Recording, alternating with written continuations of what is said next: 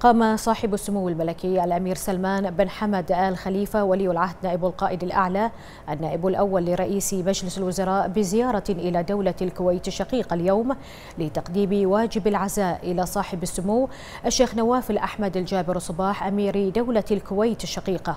بوفاة صاحب السمو الشيخ صباح الأحمد الجابر صباح رحمه الله.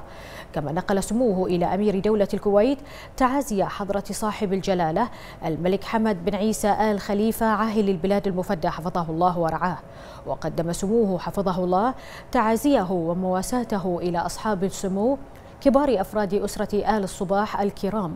داعيا سموه الله العلي القدير أن يتغمد الفقيد بواسع رحمته ويسكنه فسيح جناته وأن يلهم أسرة آل الصباح الكرام والشعب الكويتي الشقيق جميل الصبر وحسن العزاء وأن يوفق صاحب السمو الشيخ نواف الأحمد الجابر الصباح لكل ما من شأنه تحقيق المزيد من الخير والنماء لدولة الكويت الشقيقة.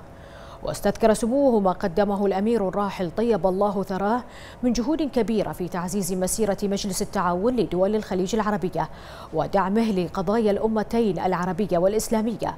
منوها سموه بإسهاماته الإنسانية النبيلة وبمسيرته الحافلة بالعطاء والتي كان لها بالغ الأثر في بناء نهضة دولة الكويت الشقيقة وتقدمها وازدهارها وما حققته من مكانة مرموقة على مختلف الأصعدة.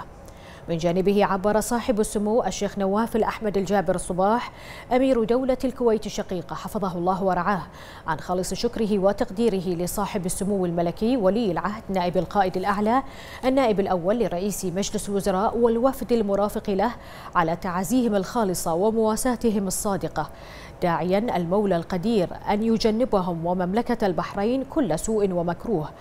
وقد حمل صاحب السمو الشيخ نواف الأحمد الجابر صباح أمير دولة الكويت صاحب السمو الملكي ولي العهد نائب القائد الأعلى النائب الأول لرئيس مجلس الوزراء. نقل تحياته إلى حضرة صاحب الجلالة ملك البلاد المفدى حفظه الله ورعاه. وقد رافق سموه حفظه الله في زيارته. سمو الشيخ محمد بن مبارك آل خليفة نائب رئيس مجلس الوزراء. ومعالي الشيخ خالد بن أحمد آل خليفة وزير الديوان الملكي ومعالي الشيخ خالد بن عبد الله آل خليفة نائب رئيس مجلس الوزراء. والفريق أول معالي الشيخ راشد بن عبد الله آل خليفة وزير الداخلية. وسمو الشيخ خليفة بن علي بن خليفة آل خليفة محافظ المحافظة الجنوبية.